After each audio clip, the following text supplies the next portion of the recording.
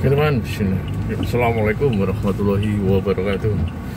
Coba lagi kawan-kawan semuanya di mana pun kalian berada dengan konten penghantar jenazah pengingat kematian. Oke teman, kali ini hujan dan waktunya jam 11.45 malam. Lokasi di Tuban eh, Kabupaten Tuban dan ini sesuatu yang harus diperhatikan buat teman-teman semuanya buat para orang tua semuanya di seluruh Indonesia di mana pun berada bapak-bapak ibu-ibu ya. Tolong ini di sebagai ya sebagai peringatan juga ya jangan sekali-kali memberikan uh, anak di bawah umur untuk naik motor ya. dan ini kenapa? Karena resikonya besar banget resikonya sangat besar dan berbahaya teman-teman Bapak Ibu semuanya di mana pun berada kalau kita lihat tiap pagi sore itu banyak banget anak. SMP itu naik motor SD pun naik motor sekolahnya. Ini beberapa sekolah memang memberikan aturan uh, tidak boleh naik motor tapi mereka malah menitipkan di tempat penitipan sepeda. Lalu pulangnya naik motor tanpa helm ini peringatan. Kenapa? Karena sekarang angka kecelakaan di jalan raya itu meningkat tajam terutama untuk anak-anak pengendara motor di bawah umur, teman-teman. Perhatikan Bapak Ibu bahwa untuk naik kendaraan bermotor itu minimal harus 17 17 tahun, teman-teman. Karena apa? Karena memang mentalnya terus kepandaiannya dalam mengolah uh, mengendari motor itu perlu diperhatikan juga mereka tak, belum tentu pintar belum tentu mereka bisa mengendalikan emosi saat di jalan raya teman-teman. Dan ini benar-benar menyesakkan dada kalau dibilang. Tadi pagi nunggu eh tadi sore nunggu anaknya pulang sekolah nggak pulang-pulang. Ke mana dicari? Ternyata terjadi kecelakaan di jalan raya ini. Sungguh parah teman-teman. Sungguh sungguh sangat apa ya tuh sangat pilu kalau dibilang bahwa bahwa hal-hal seperti ini masih banyak terjadi ya masih banyak terjadi dan perlu disayangkan buat teman-teman semuanya buat bapak-bapak ibu-ibu semuanya. Sangat disayangkan kalau kita masih memberikan toleransi untuk naik kendaraan bermotor pada anak-anak kita yang masih di bawah umur teman-teman di bawah umur bapak-bapak ibu-ibu lebih baik kita mengalah menyisakan waktu sebentar untuk mengantar mereka sekolah.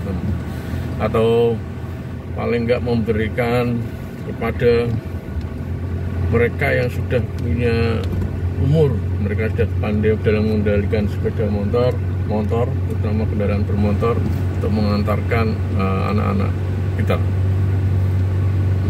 Memang kalau dibilang takdir kalau dibilang apa sudah resiko itu memang tapi kita itu ikhtiar teman-teman.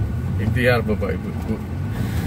Nggak mungkin kita harus diam begitu saja. Kita harus ada usaha untuk menyelamatkan anak-anak kita. Generasi bangsa kita ini agar hanya karena hal sepele hanya keteledoran orang tua mereka tidak bisa menikmati masa-masa selanjutnya ini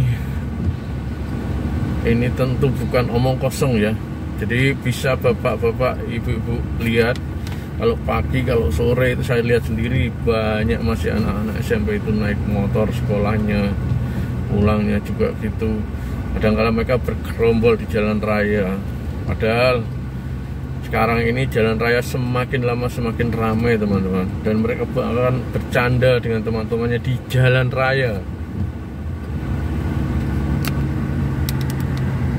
dan perlu bapak-bapak dan ibu-ibu teman semuanya saudara-saudara kita saling mengingatkan ingat di belakang saya ini adalah sesuatu saksi bisu keranda jenazah yang mengangkat jenazah seorang anak yang seharusnya masih bisa menikmati masa depannya. Ternyata mereka pergi untuk selamanya hanya keteledoran oleh para orang tua mereka. Teman Semoga video ini menjadi inspirasi ya. Ini juga sebagai peringatan karena memang sudah banyak sekali terjadi hal-hal seperti itu. Saya banyak video-video saya di belakang itu uh, yang lama-lama itu juga pernah menceritakan seperti itu ya. Dan ini terus perlu digaungkan seharusnya ya perlu diperhatikan ini bukan sekedar uh, hal biasa tapi ini seharusnya sudah menjadi peringatan buat kita semuanya agar lebih berhati-hati lagi memberikan kendaraan bermotor kepada anak-anak yang di bawah umur yang belum waktunya naik motor. Oke teman.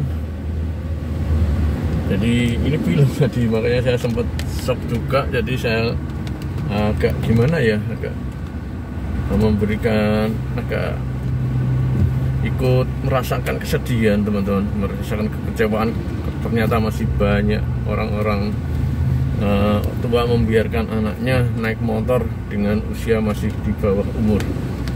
Dan sekali lagi semoga video ini semoga video ini memberikan peringatan buat kita semua ya. Memberikan uh, supaya kita sadar ya. Cobalah kita luangkan waktu. Cobalah kalau kita kalau nggak ada waktu ya berikanlah kesempatan kepada orang-orang yang lebih bisa mengendalikan kendaraan bermotor untuk mengantar anak-anak kita sekolah anak-anak kita di jalan raya.